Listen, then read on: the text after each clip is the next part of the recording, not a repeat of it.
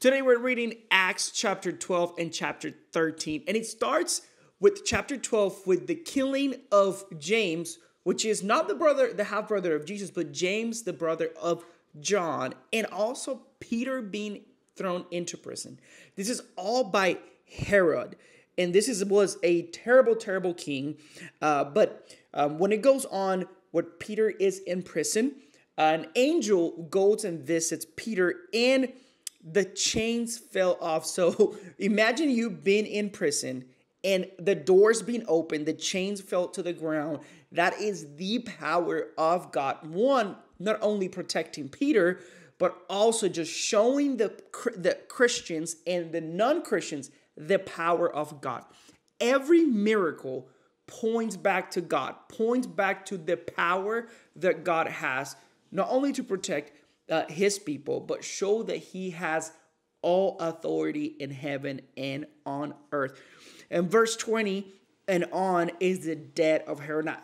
Herod um, was a bad king, It was a very prideful king. It says that in verse 3 that the reason why he killed James and put Peter into prison, it's because it pleased the Jews. He was just trying to please this large group of people because him being a king, he needs the people on his side. It ends uh, saying that, but the word of God increased and multiplied. Even through that persecution, the word of God increased and multiplied. And it says in the very, very last verse of verse 12, this is that John uh, was with them. Now, this John is actually Mark.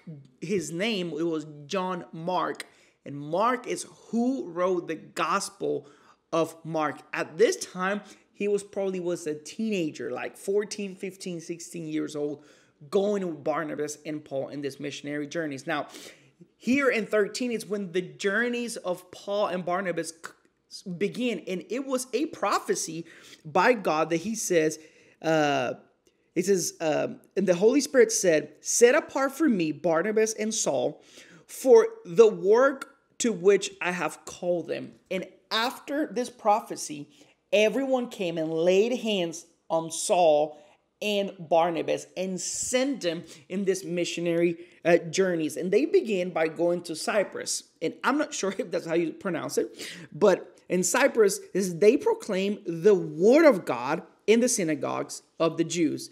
And they had John to assist them. Now, this is John Mark, not John the disciple. And it's very clear that John was with them going in this missionary uh, journeys. In verse 9, something I want to point out it says, But Saul, who was also called Peter, filled with the Holy Spirit, and it goes on. But the reason why I want to point this out is because Saul and Peter is the same. So, sorry, Saul and Paul are the same person. Most people believe that when when when Saul was converted, that God changed his name from Saul to Paul, but that is not true. His, his Jewish name is Saul, his Greek name is Paul. That's why you read things like this as but Saul, and you might be thinking, well, well, in chapter 9, he was converted. Yes, he was converted, but his name didn't change. He had both names throughout the book of Acts. Um, at, uh, in, in here in verse 13, it says that John left them and returned to Jerusalem. John, we don't have the reasons why John left them. Most people believe that it, he was probably too young and, and he just couldn't handle all the traveling and the miracles and everything, the persecution. Um, he went back to Jerusalem. Uh, and we're going to visit that in a couple of chapters because Barnabas and Paul actually split because of uh, John Mark. So Paul and Barnabas continue to preach the gospel. And what one of the things I loved to see the pattern here is that they always went to the synagogue. They always preached the gospel to the Jews first. The Jews are God's chosen people, and the instructions from God was first to the Jews, then to the Gentiles. Now, we know that the Jews reject the gospel, reject the message. And we have Paul and Barnabas going into the synagogues, preaching to first to the Jews and the Gentiles after. And something I really like to read is verse 39 in chapter 13. It says, And by him, everyone who believes is free from everything from which you could not be free by the law of Moses.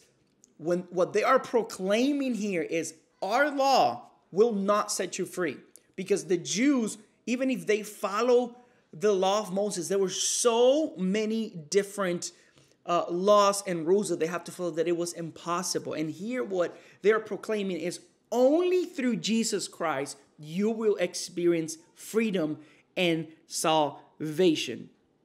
They continue to preach salvation first to the Jews, then to the Gentiles. But what we read is that the Gentiles were the ones who accept this message.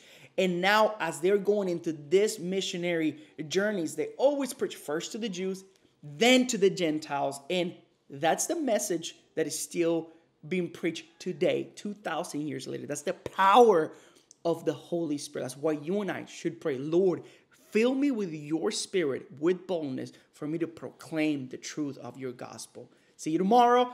Like, subscribe, and share this with someone today.